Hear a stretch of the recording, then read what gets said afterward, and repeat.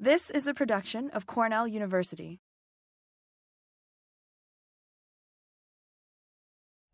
Thank you. All right, well, the last time I stood up here, the podium was over there, and I was doing my PhD defense seminar. So imagine that 23, 24 years ago. Um, so it's a pleasure to be back and to be in this position now as a uh, full professor at Washington State University. Um, as Greg said, I got my master's and my PhD here in Cornell in vegetable science. And so um, I interestingly enough, find myself as the program leader for cider research at Washington State University. So watch out, all of you. You never know what's going to happen. And basically, what happened to me was I was moved up to the Northwest Washington Research Center in 2007, and I was the sole horticulturalist there. But there was a program there on, on tree fruit. And so I was asked to lead the program. There were research associates. You know, the whole program was being run until in 2009 when all those positions were eliminated because Washington State went through some pretty severe budget cuts, as did the rest of the country. So I lost all the staff, and then it, it became me. And I had to make some decisions what I was going to do with an entire tree fruit program, and I had a full vegetable program. So I had two full programs. What was I going to do? So I uh, systematically started to eliminate the tree fruit program because I just I couldn't operate it. But I had to make some strategic choices, and I could um, eliminate this program or I could keep it. And you can see that I kept it. And so now um, what I'm going to do is I'm going to just give you an introduction to what the program is. I'm not going to go into any one aspect in depth, but I'm just going to really introduce you to it and, and to the scope of what we're trying to do at Washington State. So as Greg said, I'm at the Research Center up in Mount Vernon, which is halfway between Seattle, Washington, and Vancouver, BC. Uh, we're right on the Salish Sea. We're three miles from the, the sea. We've got the mountains on our back, and the Pacific Ocean just buffered from us uh, by Vancouver Island and it's absolutely beautiful. But it's a challenge to grow apples. Um, we're not in the Yakima Valleys, and I'll show you um, the state here in a little bit to get you oriented. But just a really brief introduction. I'm sure most of you know this about cider, but I just want to make sure we're all on the same page. When we talk cider, we mean hard cider. Hard cider is alcoholic. Um, by law, it contains up to 8.5% alcohol by volume, so that's the, the new law in the United States. You can go above that, but then you fall into a different tax bracket, and that makes it more challenging to be profitable. But um, so by law, it's 8.5% um, alcohol by volume. In 2016, there were 575 commercial cideries in the United States, producing over 2,000 distinctly different ciders. Cyser, which is a, um, a honey um, blend, apple wines, um, and specialty ciders, which is what I work with and Dr. Greg, uh, Dr. Peck works with. Specialty ciders are made from specialty cider apples, um, and this is what gives us the high quality craft cider. And uh, the picture on the left, I don't know if you can see that, but I took that in New York City on Saturday. That's uh, the Hudson Valley um, Hard Cider Company. And so there's uh, farmers market ciders. There's the, the ciders in wine bottles that are, you know, $16, $30 a bottle for hard cider. And then this is really hard to see this one, I know, but this is the Seattle Sounders. I don't know if anybody know football teams and soccer, excuse me, in the United States. So Seattle Sounders is our big uh, western northwest Seattle um, soccer team, and that's cider commercial at the Sounders game uh, a few months ago. So cider is really big in on the West Coast, certainly in Seattle, Washington, Oregon, for sure. Um, and just looking a little bit at the market here, so just kind of giving you some background information. And again, I realize it's not so easy to see the numbers here, but here is Washington right here. This is 2015. I didn't have the, the 16 data to put this together. Um, 52 um, ciders, uh, cideries in Washington state, and New York has 65 as of 2015. So New York definitely has more ciders than Washington, cideries, that is places producing cider, but Washington, I think, has more volume in terms of production. and certainly in terms of apple production. And when you look at consumption, so this is the top 10 cider markets by volume, LA, California being the number one uh, consuming location in the United States, Seattle right there behind it, and Portland, Oregon, just south of us, is number three. So we have the number two and number three uh, markets in the United States for cider, um, where I'm located in Washington. And then you can look down the list, and you can see New York there is number 10. So looking at cider in the United States, we're really talking about two very different industries. When you look at the volume of cider, most of it is the um, the, the uh, mass market Angry Orchard, which is you know essentially coming out of the Northeast United States here. And I took that photo there, that top left photo. I took that out of my local food co-op in Mount Vernon. It was early morning. I was on my way out of town, and there's the Angry Orchard cup, the, uh, excuse me, truck at the local food market stocking up. So I stopped and took that photo. And it's really hard to see here on the left, but I don't know if you can see this, but this is Crispin, which is another mass marketed cider on tap. So certainly in Washington and Portland, Oregon, and those areas, you'll find cider on tap in a lot of mainstream bars. So this is uh, kind of nothing special. This is not a tap house by any means. Is, so you go to Applebee's, there'll be cider on tap. Um, most of the mainstream uh, eateries will have cider on tap.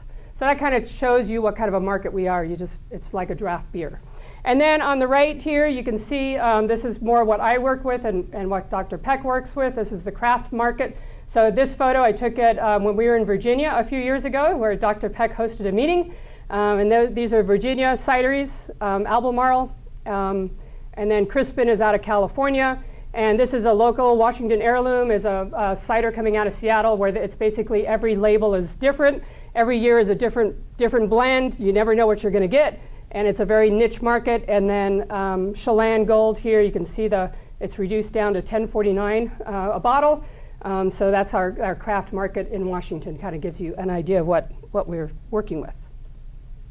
So looking at specialty cider apples, what makes them different from dessert apples?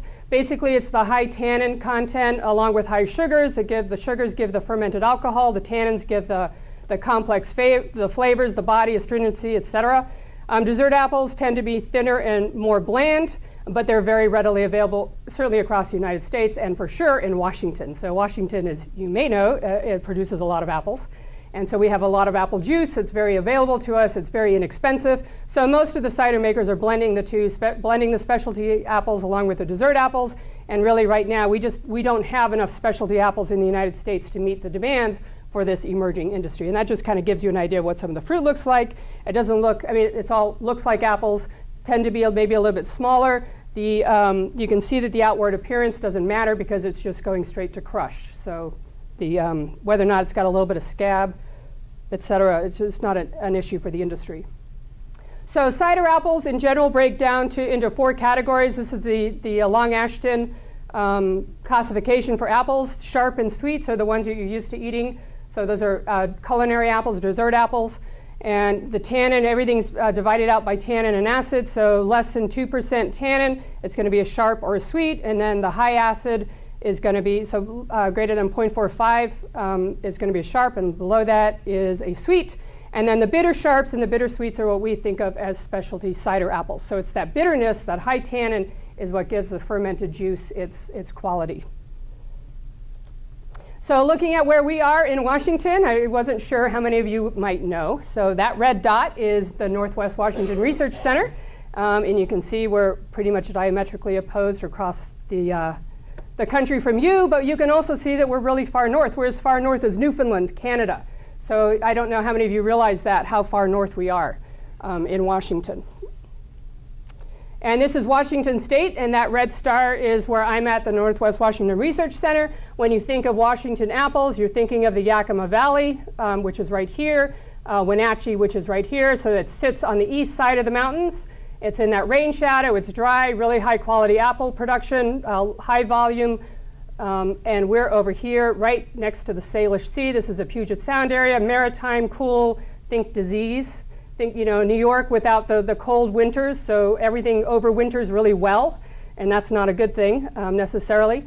Um, but it's where, when you look at where cider apples come from historically, they come from a climate not too different from Western Washington. So the program started in Western Washington, and, and, and it's still there under my management. So my program, um, this is just a, a, just a checklist of the things that we're doing in my program. I'm going to run through some of this in some detail. Some of it we're just going to touch on. But one of the things that we've been doing is we've been evaluating cider apple juice, so characterizing um, the varieties. Um, we're making single varietal ciders and then we characterize those. We make four to five a year and we uh, characterize those through a process I'll, I'll tell you about. Um, we completed a study last year where we compared juice quality of four varieties grown at four Washington locations, trying to look at that uh, genetics times environment interaction. Uh, we're measuring the cost of cider apple orchard establishment, and we're doing that uh, for mechanical harvest. So we're uh, evaluating mechanical harvest, working with the industry to develop a harvester for cider apples, developing uh, planting guidelines for orchard mechanization, developing management strategies for apple anthracnose canker. That is our main disease in western Washington. That cool, humid climate that is year round. Um, is really uh, creates this issue for us. We're, we're the hot spot in the world. Goes from Vancouver, Canada, down through Portland, Oregon, now down a little bit into the Willamette, and then I've heard reports in Northern California as well. But um, it's not a problem on the, the trees as it is in our area. And then we do a lot of work on providing cider education workshops, and then we started doing uh, online training videos a while ago to try to back all this up as people were looking for continuing education. So that's just a really quick overview of my program, and I do all of this with absolutely no background or training in tree fruit. So um, again, for those of you who are in graduate school, um, just be aware that you can, you know, you never know what you're going to be asked to do, and then you just do the best you can. And then you call on your friends and former graduate students, you know, and they become the, the national experts and, and they help you out along the way. So that's what it's all about. All right, so the history of cider apple orchards at Washington State University at the Mount Vernon Research Center. The first trees were planted in 1979, six varieties. Uh, 1983 to 1994, 20 more varieties were added. 94, 70 more varieties were added. And in 2002 to currently, what we're doing is we're actually focusing on um, data collection. So all those trees were planted, but there wasn't a lot of data collected. It was more observational, and there's really there's no records really to go back to. So when I came in, we started digging out the records. I made the staff start to write reports and start to say, well, you know, it's not good enough just to say we got orchards out there. You got to actually produce some data and some results from it. And then in 2014, we started planting our first replicated uh, variety trial with 65 cider apple varieties. And so we've completed that planting as of last year, and hopefully next year we'll start um, with our harvesting. So looking at cider apple orchards in Washington, this is our largest grower. This is Craig Campbell um, from Tieton Cider Works, and that is his, was his new planting a couple of years ago. And so those are cider apple um, orchards, and this is the Washington apple industry for the most part um, without the T trellis or the V trellis or you know the complicated trellising system. So they're just using a, a tall spindle type of system for cider apples.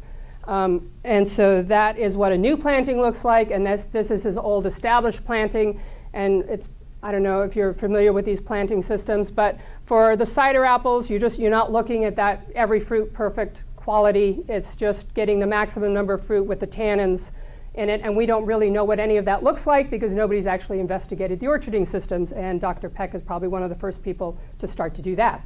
So it takes a lot of time for all of you in tree fruit, you know it takes a lot of time from inception to, or conception to inception to actually publishing any data. It's, you know, it's a 10-year program. So these are the orchards that I um, inherited. Um, this photo here on the left. Um, so this is what, you know, basically they were just a collection of I think by this time we had about 90 some varieties in our collection. Um, so this is what we've been using for our research orchard, and that's Travis uh, Alexander, um, one of my PhD students harvesting our apples. And so the data that I'm going to start to show you just comes from our old orchards right now because our new orchards will just start to start being productive in the next year or two. So we collect the fruit from each tree. Um, we first on off we assess uh, maturity. We're harvesting our cider apples at full maturity. So um, looking for full tannin, full sugars on the, the tree. So a dessert apple is harvested at a four or a five. We're harvesting at an eight. So um, going for full maturity on the tree coming out of the orchard. So then we, we, everything is done by variety. We clean our equipment between every single sample. So taking down, washing out, it takes a long time to go through all these samples as you can appreciate. So that's the, my grinder uh, shredder on the left. We use an old bladder press because I inherited from the wine grape program, and so that's what we use. Um, and then getting our juice samples out um, for our analysis. So one of the things we have in press right now is uh, Hort Technology, where we're publishing 20-some varieties, where we've done the, um, the phenology on the trees. So we're looking at days to maturity, bloom density, uh, fruit, fruit density, um, orchard, some other orchard um, observations, and then we've measured, harvested the fruit, looking at fruit size, um, and then the tannins, titratable acidity, Brix, and pH, because this ultimately is what the, the cider makers want to know is, is these types of qualities. So we do have an article coming out. I think it's going to uh, be published in June, but it's in press right now, uh, summarizing about 20 some of the, the first set of varieties that we have complete data. And by complete data, I mean up to 15 years. So we only have single trees, so I really wanted to, we wanted to have a certain amount of assurance that our data was, was pretty solid before we tried to publish it. So I'm not going to go through any of these details other than to tell you that one of the things we found is that our tannins, and remember again, specialty cider apples are, are separated from culinary apples almost predominantly by tannins. And what we're finding is that there's a location effect on tannins. So some of our varieties are not testing at the same tannin level as they tested in England, where they were evaluated um, prior ba back in the early 1900s. Um, and we think the reason for that might just be because of production practices. So in England, going back into the early 1900s, they weren't fertilizing their trees, they weren't irrigating their trees, they were very low maintenance. And coming into our modern orchards, they're highly maintained. So they're well irrigated, they're well fertilized, they're sprayed. There's just a lot of management going into it, and we think that that might be um, influencing the tannin um, content there. So a stress tree might be having a higher tannin level. So something to think about, and certainly something as a research scientist you might want to know if you really want high tannin levels, and maybe you don't want to be fertilizing, maybe you don't want to be irrigating, you want to be, you know, you might want to be changing your management system to get to the qualities you want for tannin. The other thing is that if you look at the standard deviation, so just take the first one, for example, Amère de Berthecourt, you can see that the mean is 0.48 and the standard deviation is 0.2, right? Um, and that's three years of data there. Um, the standard deviation is very high for tannin, and that means that every year can be different. So every year you can get a swing. And so if you're banking on this crop, you have to measure every year what your juice levels are, because then you have to manage your cider accordingly. So standard deviation on tannins we've found over the 15 years of data that we've collected is, is, can be quite significant. So things to keep in mind. So cider characterization, what we do is we make varietal ciders. So we have the capacity to harvest a variety, and then we ferment that variety, and then we have it characterized. So the first cider, varietal ciders were made at our research center back in 2002. Um, in 2003, we started training panels in our region through the cider school. You also have the cider school uh, here in New York. It's up at the Geneva station. So we started about the same time. Peter Mitchell is the instructor who came over from England to teach that. Um, in 2009, we published our first manual, um, Production Orchard Management in the Pacific Northwest, where we include all the, the juice data that I showed you up to that point in time, plus the, the varietal cider data that we had up until that point in time. And we've been continuing on with those varietal ciders since 2011. Um, each year we try to evaluate three to four different um, varietals. And you can see our WSU label right here. So um, we label everything with our, our the year, the, the cultivar, um, but we have a pretty standard process by, by which we make those ciders. So here you can see this is Gary um, Moulton, who was the research associate when I inherited the program, and he's pitching the yeast into the carboy there. We use a champagne yeast, so we keep the same yeast for every single batch because you have to have some consistency um, when you're making these comparisons. So we use the same yeast batch or the same yeast for every batch that we make.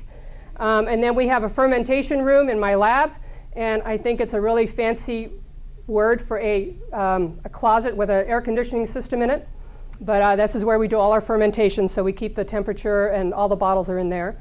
Um, and then we bottle, so this is our bottler. This is Drew Zimmerman, who is a uh, private cider maker, and he's been working with us with the program since 2002. He actually started, he went over to England back in 2002, met Peter Mitchell, and got Peter Mitchell to come to the United States to start teaching cider school. So we've been very lucky, extremely lucky to have this partnership with a, um, a commercial cider maker who trains my staff, trains my students, just works with us hand in hand, um, as well as with the students who come through the school. And then we bottle everything and keep it stored um, in our, our, our uh, storeroom there, our cold room. And we have about a we have a four-year policy. So once uh, something is more than four years old, so year five, we toss it um, just because we think at that point it's losing its quality and, and any tasting wouldn't, wouldn't do it justice. So our panel is trained by Peter Mitchell. Um, this is Peter Mitchell. Again, I don't know how many of you are familiar with cider, so I don't know if this name means anything to you or not. If you have any familiarity with cider, then you know that Peter Mitchell is the father of cider um, quality evaluation um, in the United States because he really started the program or was really influential in the program in England. So we work with a trained panel that was trained by Peter, and then uh, Drew Zimmerman goes through and makes sure that um, everybody can, can give us really very quality evaluations. Um, we do multiple sessions, convenient locations to the panel members, maximum of five ciders per session. One session per cider uh, is adequate. We found that more sessions don't really give us any new information, and frankly, we, do, we don't have the capacity to do more than that, so we, we um, work with what we can do. This is just an example of um, what we do. So, for example, we went to Snowdrift Cidery in Wenatchee, May 24th, 2012. We had five evaluators there, and those are the ciders they evaluated. Then we went to Alpenfire in Port Townsend, that's over on the Olympic Peninsula. We had seven evaluators, um, and those are the ciders that they evaluated. So you can just kind of get a, a sense for what we try to do with our evaluators. The evaluators, these are cider makers, they're cider aficionados. They do this all on volunteer. We don't pay them, we don't pay their way. They come in, they meet us at the, the site wherever we're going to meet. We bring all the ciders, they do the tastings, and there's a real methodical way that you go through it, and they do this all voluntarily. And the way that they feel about it, the way we feel about it, this serves the industry not only in Washington, but nationally, because there are no evaluations for these uh, single varietal ciders. And this was something that I started um, in the program. So I brought this concept um, into the program, and this is what we've been building on um, ever since. So then we have these evaluation results, and this is just a, a snapshot um, where we have a description, and it follows. I don't have it here. I don't have the score sheet, but it follows the score sheet that Peter Mitchell uses to train cider evaluators. So we just we follow the training that is used now by the National Institute, Cider Institute of North America, and it's used through um, through the, um, the European system as well. All right, so that's the juice, that's the cider quality evaluation. We, okay, so I'm going to move on um, to orchard establishment costs. This is another big part of the program. So again, when I started getting involved with cider apples, one of the big questions that everybody asks is, well, can you make money? It's like, okay, you can make money selling a bottle of cider, assuming it's a good cider, but can you make money growing the apples? And we are a pretty significant apple industry and trying to convince dessert apple growers to grow a cider apple when the value of a cider apple is so much less than a dessert apple, it's just not happening very quickly. So I realized pretty early on that we really had to do a lot of work with the economics, trying to understand what the costs were. So I'm just going to go through a snapshot of one of these budgets, but these are the three budgets we've published. One of them is cost estimation of establishing an orchard in western Washington, cost estimation in central Washington, and then we've done a feasibility of different harvest methods, and really what that means is hand and mechanization. So cider apples lend themselves extremely well to mechanized production, so I'll show you some photos here of the work we're doing, but mechanized harvest, mechanized pruning, um, and we think that that can lower costs, but until we actually um, have orchards to work with to understand really what the costs are. We can't really show that, but th we're right on the verge of doing that right now. So this is just a snapshot scenario of what it takes to write a um, production budget. Um, and again, I'm not an economist, so I work with an economist. Uh, Suzette Galinato is the person I work with at Washington State.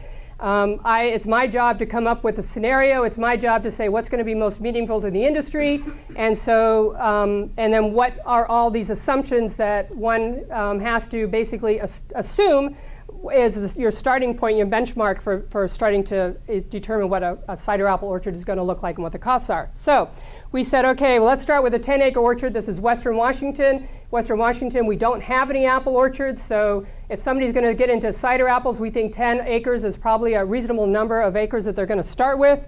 Out of that 10 acres, only 9 acres are actually orchards. You've got buildings, you've got roadways, you've got headlands, all these other things that take up land. So you've only really got 9 productive acres. Um, central leader system, we assumed a dwarf M9 series rootstock.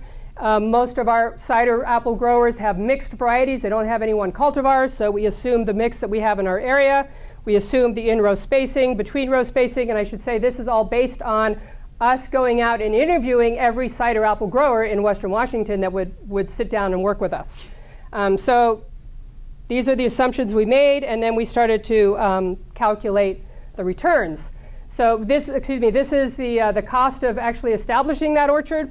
So um, you can see in year one, it's a $10,000 um, um, enterprise just putting that, that orchard in, and that doesn't account for the cost of land. Our land is $14,000 an acre right now for farmland. So if you actually wanted to do this on top of that cost, you'd be paying $14,000 an acre, which is why we don't have a lot of crop production in an area because we grow houses. So if you're outside of New York City, you know exactly what I mean, right? If you're in any developing area where the cost of or the returns for housing is more than the return for farming, that's that's just the way it is. Um, so, anyways, here we are um, with costs, and basically once we get into full production, sorry, you can see here that you're uh, starting to return about $1,500 an acre um, year five onwards. So indeed, cider apple production is, is uh, profitable in Western Washington, it's profitable in Eastern Washington, assuming all those assumptions. In Eastern Washington, what we said was instead of being a standalone 10 acre orchard, it's a 10 acre block on top of a within a 100 acre orchard. So most of our orchards are several hundred acres in, in Eastern Washington, so nobody's going to just go and put in a 10 acre orchard. They're already going to have, you know, 100, 200, 1,000 acres, and maybe they're going to put one block, 10 acre block into cider apples. So there in Eastern Washington, we went along that assumption. So you have to set your assumptions, you have to know what you're talking about, you have to talk with your growers. It's a lot of legwork, it's a lot of sitting down with growers who can give you the numbers to the best of their abilities and be as honest with you as they can because not everybody likes to tell you what their costs and profits are. So you just you have to trust them and they have to trust you and it's just it takes a while to get there. Then what we did is we do um, these profit analyses. We say, okay, well, you can't guarantee the yield every year. You can't guarantee your price every year. So what could that look like? Um, so, and I, we talk in bins, you talk in bushels. It's 40 pounds a bushel for apples, 40 pounds a bushel. So you can do the math on that, but basically what you can see here is at $300 a bin, and that is 33 cents a pound. And our, when we did these numbers a couple of years ago, the bottom price our growers were getting were 35 cents a pound for cider apples. So 33 cents was under the bottom price that our, our cider apple growers were getting.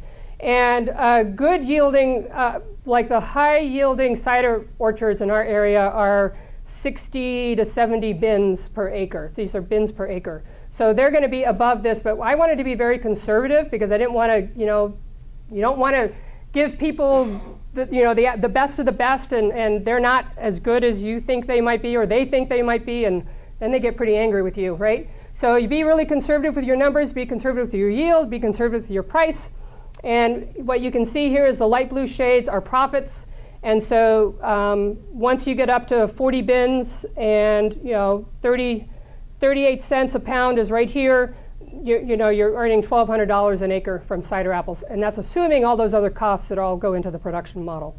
Um, so again, this just gives growers an opportunity to, to see what their uh, production potentials are. Right now, cider apples in Washington, as of 2016, the end of 2016, sold for anywhere from oh, I'm trying to think what the average, the average price was about 45 cents a pound and it went up to about 75 cents a pound on average, but you have some people paying $1.20 for particular varieties. But that's a you know Kingston Black, very particular label. Um, somebody who's going for a, a, Kingston Black label. But on average, it's about 45 cents a pound, 75, you know, on average on the top mark. So essentially, cider apples have the opportunity to really be quite profitable, assuming, of course, you can do your yields, um, which comes back to apple production. So that moves me to um, the area that I've really focused quite a bit on my program, which is mechanical harvest. So it became pretty evident to me, and I don't know anything about apples, but it became pretty evident to me when I walked out into the orchard that there might be a better way to do this than hand harvesting, especially when we are in an area where we don't have orchards. And if you don't have orchards, you don't have labor. And if you don't have labor, you're spending a lot more money to get your fruit off the trees than you would in an area that has orchards. So our prices, our land prices are high, our, our labor prices are high, and you know this, the, the whole scenario just kind of works against you. So we started looking at uh, mechanical harvest, and I should also say that we are a leading national producer of blueberries and raspberries, which are mechanically harvested. And we have these over-the-row harvesters, which we happen to own. So we had a cider planting that was planted very specifically to test this mechanization. Now the mechanization, understand, was built for bushes. So we planted our trees at the same height as a bush with the idea that we're just testing a concept. All right, um, hand harvest accounts for 38 to 46% of your budget, so if you can reduce that, you have a significant impact on your production budgets. Um, mecha mechanized harvest is used for cider apples throughout Europe. There's essentially no hand harvest in Europe. Um, they're using a shake and sweep harvest system, which I'll show you here, um, which are not, it's not suitable, I, I don't believe, for our modern orchard systems. Washington is a very modern apple orchard state. They're not going to go back to production technology of 30, 40 years ago to grow a cider apple. I, it's just not going to happen. So in order for us to look ahead and say, okay, well, what are your orchard systems and what kind of machinery can fit the modern orchard system, we have to look forward, not backward. That's, that's been my stance, and I'll tell you, I've taken a lot of flack for it. So uh, the Washington cider industry is looking to Europe They say that's not what Europe does. And so one of the things you have to learn as a research scientist, and as I'm an extension specialist, is you have to take a lot of flack. And maybe in 10 years you're right. You know, and then they'll say, oh, good thing somebody did that work, and they won't remember who it was. Um, but, you know, hopefully it'll be you. And hopefully you'll know that you were moving in the right direction. So this is what our mechanical harvesters look like. Um, this is harvesting our cider apples at the Mount Vernon Research Center. This is a small fruit harvester built for raspberries and blueberries. And so we built our cider apples to fit under the harvester. So understand and recognize that this is not what I'm recommending a cider orchard looks like. It's that this is how we had to grow our cider apple trees to fit the harvester that we owned. Now, I actually think you could probably do this pretty easily. I think you could grow a dwarf apple tree, which is what we're doing, and fit this machinery, which is readily available across the entire United States. So if you look at any blueberry, um, blueberry industries, so Michigan all the way down through Florida, they're all using mechanical harvest and they're using these harvesters. There are a couple of different um, manufacturers, but it's all pretty much the same technology. And you could easily fit these machines over these trees. So that's one of the things we've been able to show. So I always have to say this is our proof of concept right? I'm not saying necessarily this is what your cider apple orchard should be like, but you have to do something in order to test this machinery when the machinery doesn't exist because you can't prove there's a market for it, and it's a $350,000 piece of machinery. So, you know, it's chicken and egg, right? So, and we're the omelets. So here's the machinery that's looking in, in, uh, in the inside. Their fingers, their rotating fingers, they vibrate and they shake the, the fruit off the trees. One of the first things I had to do after, so we ran the machinery over the first year and I realized the trees weren't designed correctly. So the, the, the next year we redesigned the trees. We loosened up the wires because they were really tight to the wire. Everything was very planar.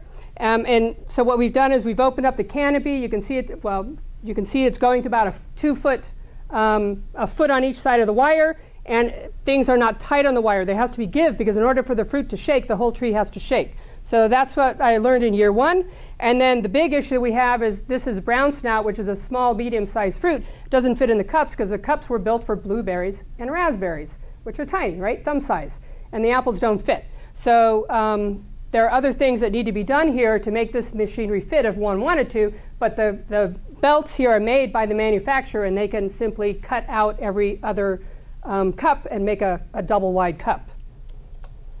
So this is what the apples look like when they come out of the, um, the harvester and they're going on the press line, 100% bruising. Um, so we did a couple of different experiments, two-year experiments. The first year experiment, we took all that fruit and we have this all, um, we have hand harvest, we have machine harvest, we have uh, pressing at zero weeks at harvest, we have pressing two weeks storage and pressing four weeks storage and that was under cold storage. And what we found is that there was no impact on juice quality with 100% bruised fruit going into cold storage. Then our growers said, well, we don't have cold storage in Western Washington. That's an Eastern Washington thing. What happens when you barn store? Because we barn store our fruit. They just make piles and then they walk away and then they come back and press. So what happens if you use ambient storage? So I said, okay, well, we'll look at that next. So we had a two-year study where we looked at zero, two, and four weeks of ambient barn storage. And so this is some of that data. Um, the first two years, 2011, sorry, 2011 and 2012 are the cold stored fruit. And I'm not showing you the fruit data, uh, the fruit quality data, because there was no difference on fruit quality data for the storage time. Everything was the same. Um, what I want you to look at is I want you to look at yield.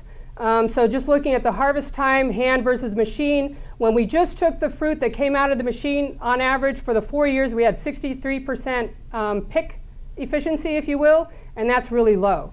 But what we found is a lot of the, the fruit was in the ground, excuse me, hit the ground because it bounces off the machinery. It hits the machinery. It's not raspberries and blueberries are soft. They hit the bottom plate and they, they, don't, they just roll.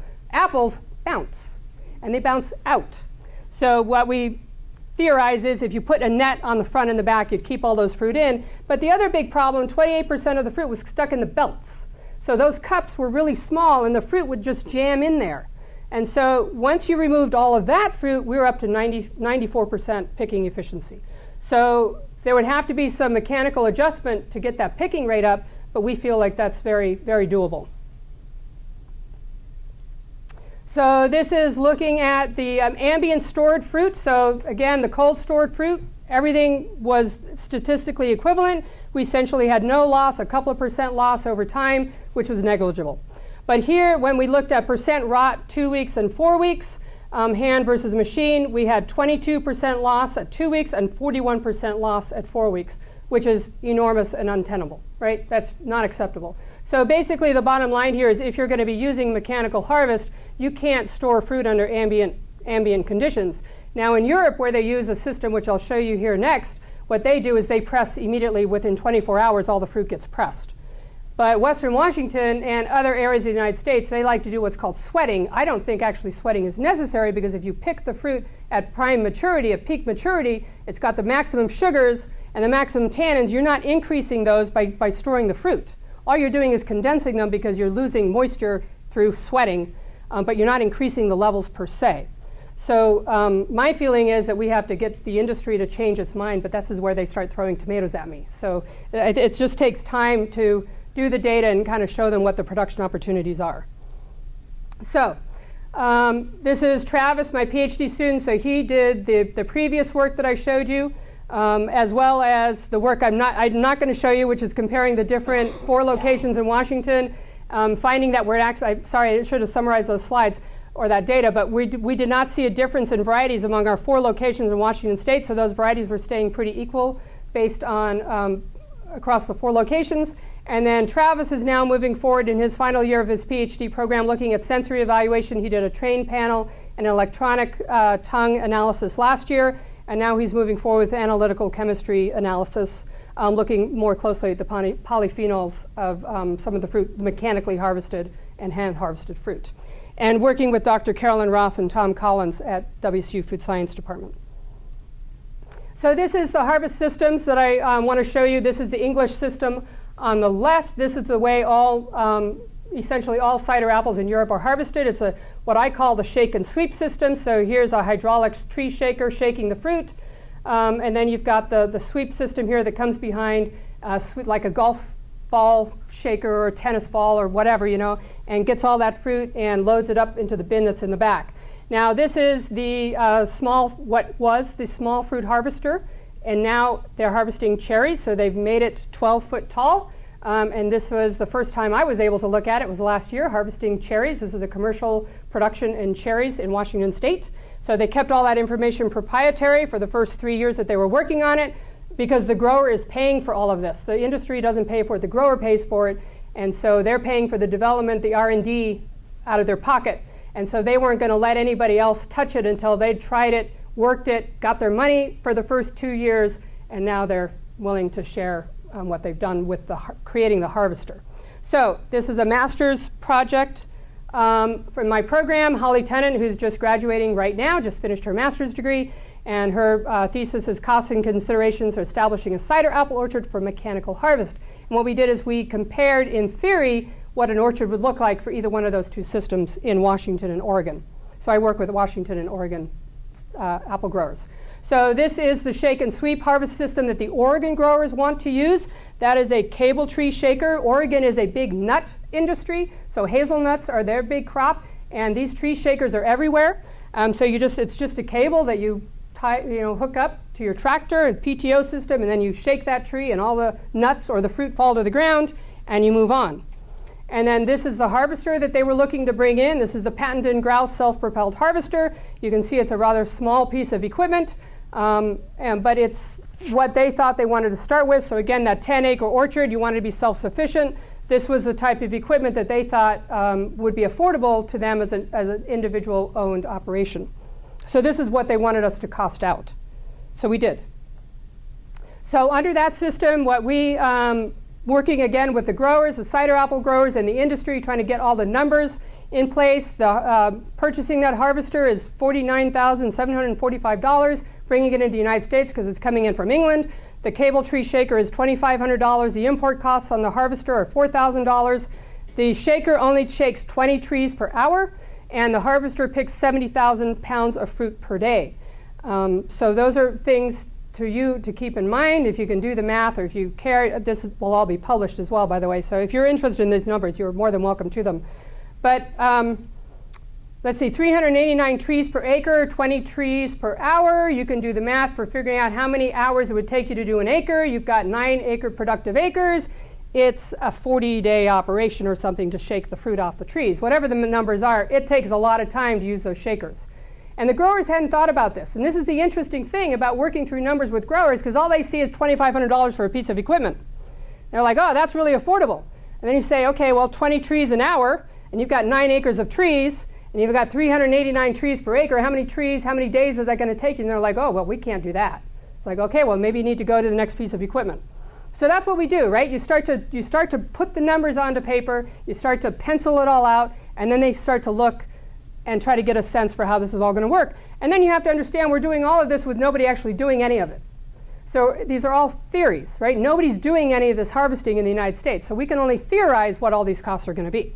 But at least it gives a grower a good place to start. And that's our job as research scientists is try to give you fact-based information um, to start. So um, the yield on an acre, an orchard like this, we are estimating at 147 pounds per tree, and that comes from my orchard in Mount Vernon. So looking at the, the size of the, the trees, uh, three varieties, four years of data that we have uh, works out to be about 147 pounds per tree. So the production level on this type of orchard is about 57,000 pounds per acre. And so looking at all the costs, the profitability per acre for full year of production, this is profitability taking all your costs into account including land, is $11,000 per acre. So you can make $11,000 an acre doing this, but what it doesn't take into account is the fact that it's going to take you 30 days to shake the trees and what might be happening with tree fruit, uh, the fruit quality over that period of time. It doesn't take those kinds of issues into account. So then this is the over-the-road tree fruit harvester. This is the Oxbow um, model. Um, Oxbow bought out our large Washington industry, which was Korvan. Oxbow is out of the Midwest. Um, so there, has been a lot of consolidation in the mechanical harvest equipment. Um, and so this is harvesting olives in California. And this is the Littau Harvester, which is an Oregon company harvesting sweet cherries in Washington. And this is what it looks like from the front. And you can easily imagine that that's a cider apple tree. That has the same architecture, same size, and I think that this could really work. So looking at this piece of equipment, it's $3,500, $350,000 new, uh, $5,000 annual maintenance, or you could lease it for $70,000 a year, but after year five, you might as well have paid for it because the profit margin in buying the machine outright is far better after five years than if you're leasing it every year. Um, the pick speed, you know, you're picking a bin every 10 to 12 minutes, one tree every 14 seconds. You're through that 10 acre orchard in a day. And it's one operation. So it's just, it starts to, when you've got lots and lots of acres, it starts to look really good. So I'm going to go through this really quickly because I don't have a lot of time left, and I apologize for that. But this is the hedger. So this is looking at what we're projecting a cider apple orchard could look like in the United States. So you've mechanized harvest. In order to mechanize harvest, we think that you can easily mechanize pruning. So this is the hedger. I don't know, is, is hedging used in the Northeast for tree fruit? Because this, this work um, that I'm familiar with right here is out of Massachusetts. So this is Jon Clements out of Massachusetts using the fruiting wall. So we think that using a fruiting wall system and the mechanical hedger and the mechanical harvester all could come together really nicely for a mechanized cider apple orchard in the United States. That's, that's uh, our vision. So I, my last few slides here, and I'm going to go quickly on this, is apple anthracnose canker because I want to introduce this to you. I don't know that it's a problem here. I haven't heard of any significant reports, but if we have if we continue to have global warming, and if your winters continue to get warmer, this is something you might see in the future. So this is what the disease looks like on the tree right here. This is what it looks like on the fruit. This is bullseye rot on the fruit. It's apple anthracnose, um, the same pathogen, and you're probably familiar with it as bullseye rot, but it also causes this, this canker here, and that canker will kill a new tree and it will limit production on an established tree. Um, so this is my, my master's student, Whitney, right here, and her work is in isolating, inoculating, um, trying to replicate the, um, the infection pattern, and then looking at management of the cankers and looking at um, preventative as well as curative control in fungicide trials. So I'm not going to go through this data. Um, it's here, and I'm certainly willing to talk about it. You don't have this disease. You don't have to worry about it, I don't think. Um, but one of the interesting things is after we do all the control and after she thinks she has control, she goes back 15 months after the initial applications and she carves out the trees and voila, there's disease within the tree itself.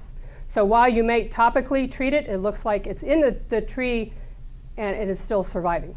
So we just found this uh, about a month or so ago, and so we're trying to figure out what it all means in terms of management. So a lot of research support goes into all of those experiments. We get a lot of funding from a lot of people, and we're really appreciative of that.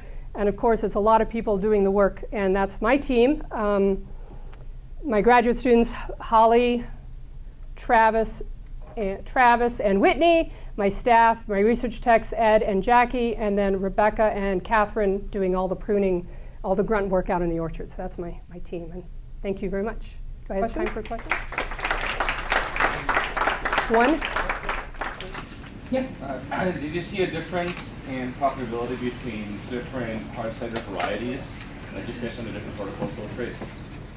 Popular. With, like, the, with the different cultivars that you were using, did you see a difference in profitability, profitability. based on the different, you know, Brown Snout versus Dabinett or? Um, I wouldn't say so much, except for there are a couple of recognized names, like Kingston Black. Uh, you know, so everybody, I think, thinks they want Kingston Black, and they're willing to pay top dollar for Kingston Black. So that's probably of all the, the specialty varieties that we work with, that's probably the one that has name recognition. Apart from that, they're really looking at tannins. So they want to know which ones are going to be bitter um, and at what level. I meant more in terms of yield and being able to harvest them and like in terms of how they perform horticulturally. So no, not so. We, so thank you. So I, when I'm thinking profitability, I'm thinking how much is a is a buyer willing to buy? They're going to pay more for for a top tannin producer, Kingston Black, they're going to pay more, and that's going to offset your yield to a certain extent. So on, on, yield, no. We're just starting to look at that yield data right now. Again, 15 years of data, just starting to aggregate it all and start to look at which varieties might be more productive. But to be quite honest, I mean, I think Dr. Peck has the first research orchards where you can start to look at yield data. We just have one tree per cultivar. So it's pretty, making a lot of assumptions based on that one tree. So I'm a little cautious. Um, uh, Geneva questions? Are you paying attention to uh, some apple varieties that can uh, give you a good aromatic character in the final cider product? Um, I would say not at this point in time. We're not. Um, I think my PhD student Travis wants to look more at the um, the polyphenol composition and, and, start to look more at at chemical composition in the, the finished product and understand the relationship with the juice, but we're just at the very beginning of any of that work. So I would say I have not done it, certainly have not done it to date. As to whether or not we do it, um, I don't know that we're going to be able to do it, to be perfectly honest, because we don't receive any funding for a hard cider. We receive funding for, for tree production, fruit production, but not for hard cider. And so it's a really tight line that you're walking as a research program.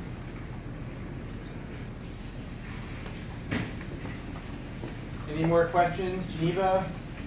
Jessica? Thanks, Carol. Thank you. This has been a production of Cornell University on the web at cornell.edu.